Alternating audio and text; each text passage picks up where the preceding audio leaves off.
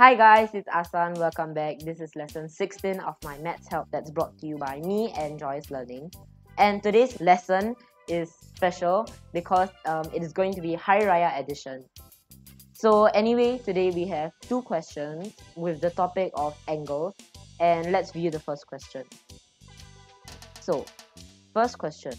A rectangular piece of paper with top corners A and B was folded as follows. Find angle X. So first thing I'm going to do is label what I already know, which is this 90 degrees over here and this 90 degrees over here. Oh, 90 degrees. Okay, so what we are trying to do is find angle x. So in order to find angle x, we have to find this angle over here. In order to find that, we need first to find out the top corner of triangle B which is equal to 180 degrees minus 90 degrees minus 73 degrees which is equal to 17 degrees. So here is 17 degrees. And I'll just draw the arrow to show you how it's folded. And since it's folded you also know that this here is also 17 degrees.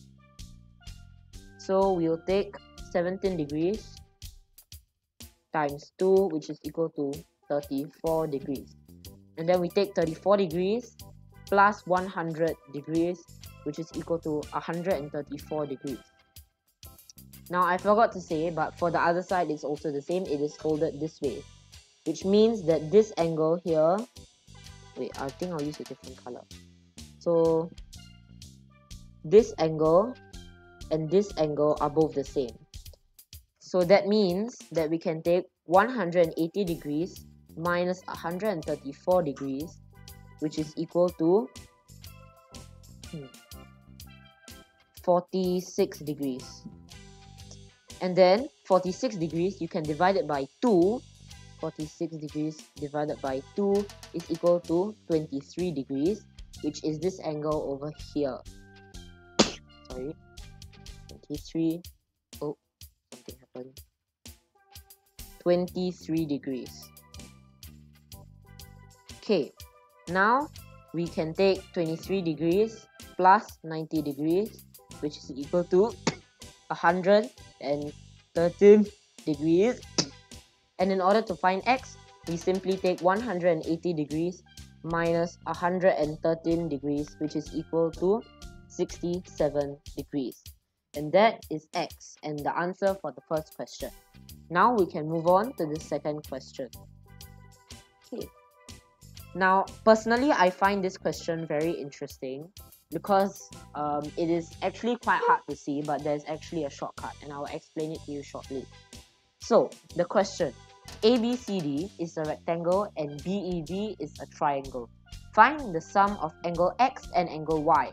Now, in the question, they say find the sum of angle X and angle Y. So we actually don't need to find one one of each. So how much x is and how much y is. And that actually makes things a lot easier. So here we can see uh, basically what I've just said. So um, triangle, I'm going to put triangle D. Hold on, something's wrong with the pen. Okay, triangle DBE is equal to angle D. Okay, this is a little confusing. Maybe I should change it. Um, yeah, I should draw on the graph instead. Okay, so for triangle DBE, we know that all its angles is here, 1, here, 2, and here, 3. So that is the angles of DBE. But if you look at DBC, the angles are not actually very different. I'm going to be using green for this one. So for DBC, it is this here, this one over here, and this one over here. As you can see, these two triangles actually share um, two similar angles, which is this one, which I'm going to do in red. So this angle here and this angle here, they both share it. So we can cancel it out.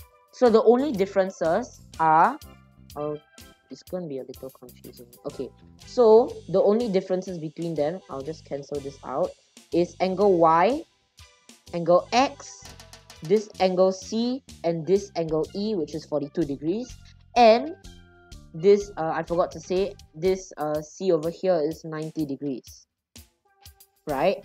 So that means that x plus y plus 42 degrees is equal to 90, 90 degrees. So x plus y is simply 90 degrees minus 42 degrees, which is equal to 48 degrees.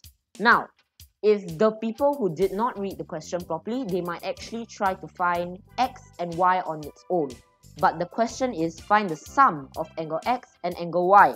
Thus, that is all we have to do. It's just two steps. The answer is 48 degrees for the sum of angle x and y. So, um, I hope you found this lesson um, enriching and interesting since, uh, yeah, since uh, this question is actually there's actually a shortcut and I hope it will help you in future because I think there actually there was actually one question in my PSLE that had something like this. Anyway, if you found my uh, lessons interesting, make sure to go to www.joyouslearning.com.sg slash blog to find out more and I hope to see you next week. Bye bye!